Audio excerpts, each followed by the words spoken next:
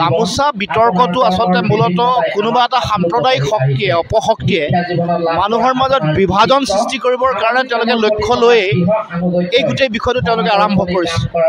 গামোচাখনৰ এটা সুকীয়া স্বকীয় ঐতিহ্য আছে সুকীয়া সত্তা আছে। এখন অসমৰ মানুহৰ অসমীয়া মানুহৰ স্বাভিমানৰ প্ৰতীক।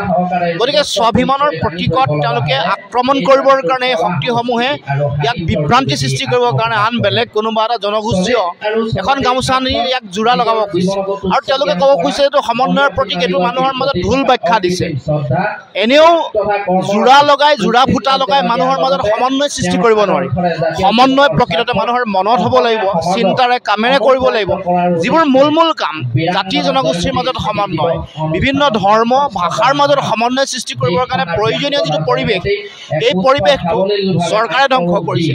বিভিন্ন সাম্প্ৰদায়িক ধ্বংস কৰিছে গতিকে সমন্বয় সৃষ্টি কৰিবৰ কাৰণে প্ৰয়োজনীয় মূল মূল কামবোৰক বাদ দি জাতীয় স্বাভিমানৰ প্ৰতীক গামোচাৰ ওপৰত তেওঁলোকে হাত দিছে বা তেওঁলোকে আক্ৰমণ কৰিছে। গতিকে আমি স্পষ্টভাৱে আমি জাতীয় পৰিষদৰ তৰফৰ পৰা ক'ব খোজোঁ যে অসমৰ মানুহৰ জাতীয় স্বাভিমানৰ প্ৰতীক গামোচাৰ স্বকীয়তা ইয়াৰ ঐতিহ্য আৰু ইয়াৰ বৈশিষ্ট্যৰ ওপৰত যাতে কোনেও হাত নিদিয়ে ইয়াক কোনেও বিকৃত কৰিবৰ কাৰণে যাতে কোনেও অপচেষ্টা হাতত নলয়।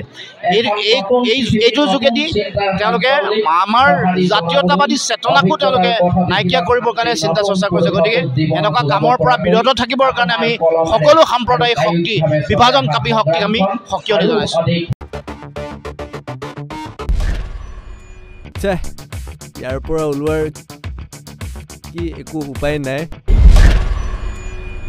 এই ৰোগৰ চিকিৎসা আছেনে? লাজতে কাকো একো ক'বই পৰা নাছিলোঁ। আৰু এই যন্ত্ৰণা সহ্যও কৰিব পৰা নাছিলোঁ।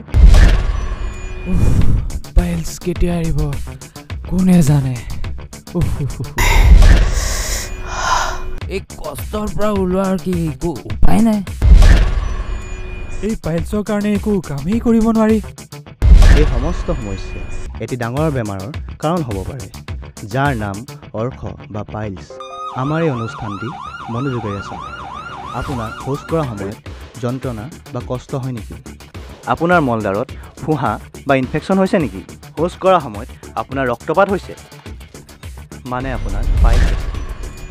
পাইলছ বা অৰ্শ এনেকুৱা এটা ৰোগ যিটোৰ পৰা সোনকালে পৰিত্ৰাণ পোৱা খুব কঠিন। মল সংকোচনৰ ফলত ঘৰখনৰ দ্বাৰা নাৰ্ভবোৰ ফুলি যায় আৰু ইয়াৰ ফলত ৰক্তক্ষৰণ হোৱা আৰম্ভ হয়। আৰু এইটোৱেই হৈছে অৰ্শ বা পাইলছ। এই ৰোগটো একেবাৰেই সহজভাৱে নল'ব। এইটো খুবেই কষ্টকৰ। টয়লেট কৰাৰ সময়ত অত কষ্ট অত যন্ত্ৰণা আৰু যিটো কষ্ট একেবাৰেই সহ্য কৰিব নোৱাৰি। এতিয়া চিন্তাৰ কোনো কাৰণ নাই। কাৰণ পাইল ক্লিয়াৰ এনেকুৱা এটা আয়ুৰ্বেদিক ফৰ্মুলা যিয়ে আপোনাৰ এই ৰোগক একেবাৰে নিৰ্মূল কৰি পেলাব পাৰে। পাইল ক্লিয়াৰ। আচলতে আমি দৈনন্দিন খাই থকা ফাষ্ট ফুড জাংক ফুড অসময়ত খোৱা অসময়ত শোৱা বা ব্যস্ততা টেনশ্যন কম্পিটিশ্যন এইবোৰ অনিয়মিত কাৰণে মানুহৰ পাচন ক্ৰিয়া ব্যাহত হয়। লাহে লাহে এইবোৰেই ভয়ংকৰ ৰূপ ধাৰণ কৰে যাৰ ফলত পৰৱৰ্তী সময়ত মলদ্বাৰত ইনফেকশ্যন হয়। তাৰ পৰাই আৰম্ভ হয় এই জ্বালা যন্ত্ৰণা। অনেকেই ভাবে এবাৰ অপাৰেশ্যন কৰাৰ পিছত চব ঠিক হৈ যাব। অপাৰেশ্যনেই কিন্তু এই ৰোগৰ একমাত্ৰ চিকিৎসা নহয়। আমি কওঁ অপাৰেশ্যন হ'লেও পাইল ক্লিয়াৰ অৱশ্যে সেৱন কৰিব। যাতে এই ৰোগ পুনৰ ঘূৰি নাহে। আমাৰ এই সংস্থাটি জি এম পি তথা আই এছৰ দ্বাৰা স্বীকৃতিপ্ৰাপ্ত আৰু আমাৰ এই প্ৰডাক্টটো এফ ডি এৰ দ্বাৰা এপ্ৰুভড সাত দিন। মাত্ৰ সাত দিন। আপুনি মাত্ৰ সাত দিন ব্যৱহাৰ কৰিলেই গম পাব যে আমাৰ এই প্ৰডাক্টটি কিমান যে এফেক্টিভ আপুনি পাব আয়ুৰ্বেদিক পাইল ক্লিয়াৰ কেপচুল আৰু কনষ্টিপেশ্যনৰ বাবে কাৰ্বছ মুক্তি কেপচুল। আৰু লগত পাব পাইল ক্লিয়াৰ ক্ৰীম